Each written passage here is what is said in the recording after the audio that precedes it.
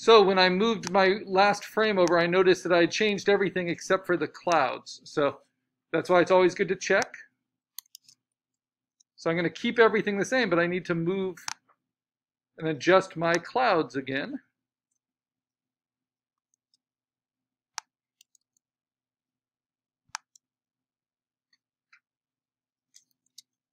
I want to see if I change the eyebrows. I didn't change the eyebrows either, so I need to do that. So many things to keep in mind. Going to go back to the second position of eyebrow. Or no, maybe to the first position of eyebrow.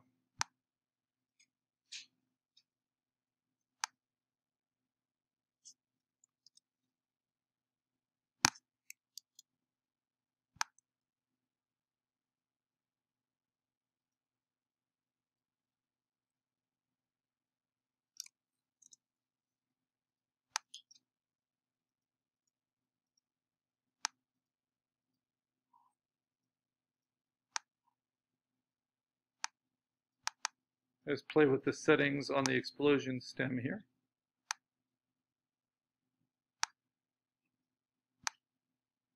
So like the nose, they just kind of change a little bit. All right, now that's looking better. Except that I think I can make the icicles more opaque than even 60% now that they're not on pin light anymore. Let's try, let's try 80.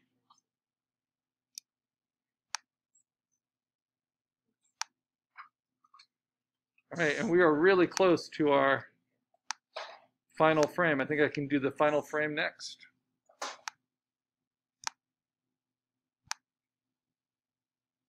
And the final frame is already built. All right, so let's put this together. Hold down Option, Layer, Merge Visible, select it all, copy it all, paste it all into your stage.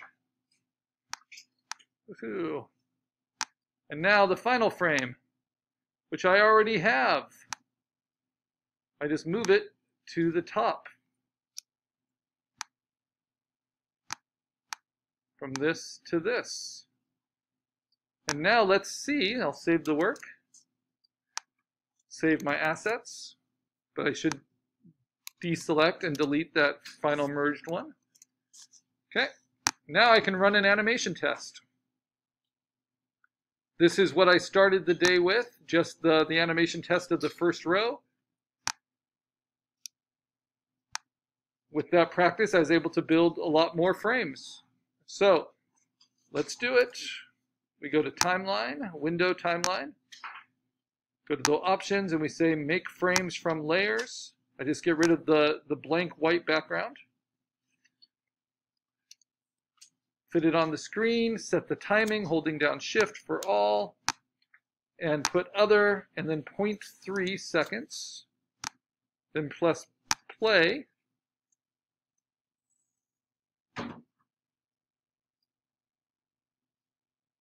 And then except for the abrupt change from the end to the beginning, it transitions pretty well. And I like how the clouds get to move.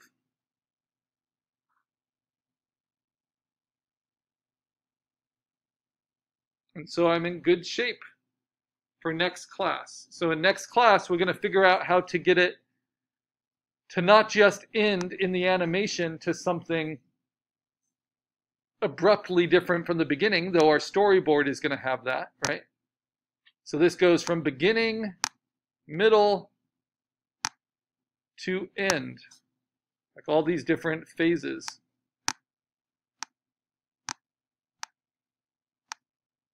So how can I get it to set to reset, to go from this to this? Well, one really simple way is to do what's called a crossfade.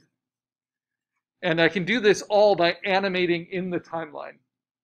So a crossfade is you would take two frames and select them both. So instead of holding down shift, this time I'm going to click on my last frame, and then I'm going to hold command and click on my first frame. So I want to transition between these two frames. And then I click on this option here, and I'll go over this beginning of next class. which is called the tween tool, and I'm going to put five frames between these two.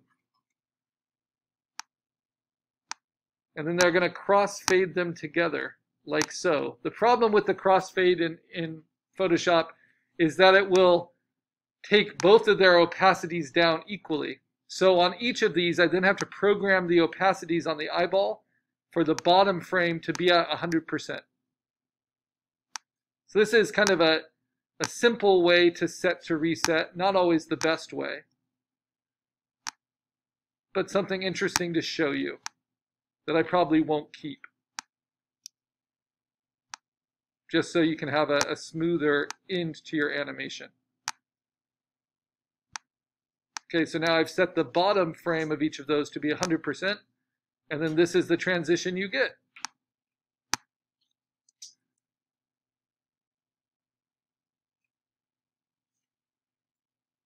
Slowly it fades in? So that's called animating within the timeline. Another thing we could do is we could take, I'll delete those, those cross-fading ones.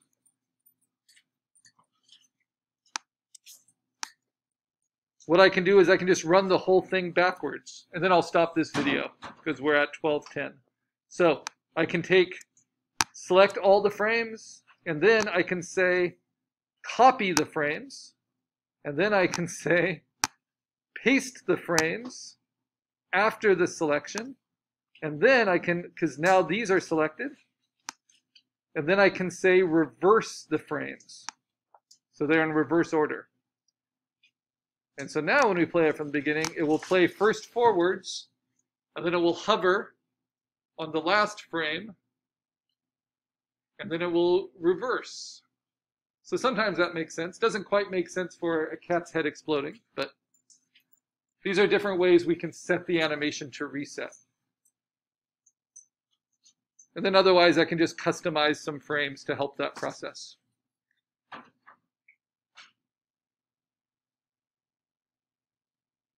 So I'm going to actually just save this as a GIF and post it as my process so far. So to do that, I say export, save for web legacy, use the settings as they are, because I know they worked last time.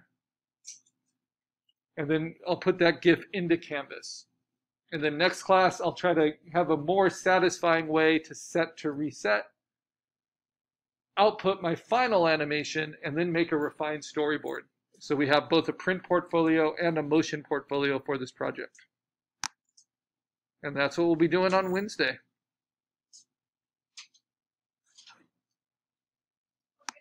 You too.